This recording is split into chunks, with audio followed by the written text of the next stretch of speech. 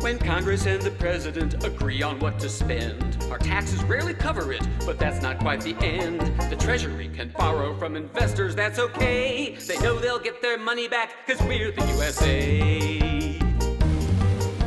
But almost every year these days we spend more than we got. But when we ask to borrow more, we learn that we cannot. The Treasury says, sorry, there's no money on the shelf. You folks have hit the limit, one that you all set yourself. Can vote to raise the ceiling, wouldn't that be nice? But here's where things get awkward, cause the votes come with a price. One party seeks concessions, saying, This is where it stands. I'll risk a global meltdown if you don't meet my demands.